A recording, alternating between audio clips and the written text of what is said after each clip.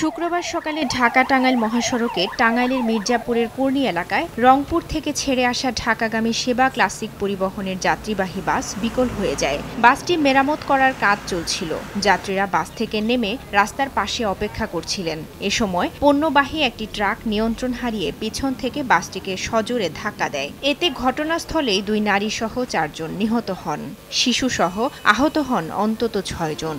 একটা শব্দ হয়। শব্দ হওয়ার পরে আমি দৌড়ায় বাইরে আসি আসার পরে দেখি যে একটা ট্রাক এবং বাস আমার বাসার ভিতরে ঢুকে আছে। সামনে যেটি লোক আসিল কিছুটা তলে পড়ছে কিছুটা আহত হয়েছে। আহতদেরকে উদ্ধার করে হাসপাতালে পাঠিয়েছি। বর্তমানে তারা চিকিৎসাধীন আছে।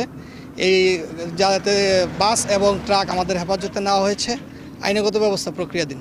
আহতদের উদ্ধার করে মির্জাপুর কুমুদিনী হাসপাতালে নেওয়া হলে আরও দুজনকে মৃত ঘোষণা করেন চিকিৎসক। আহত চারজনের মধ্যে তিনজনের অবস্থা গুরুতর বলে জানিয়েছেন চিকিৎসক।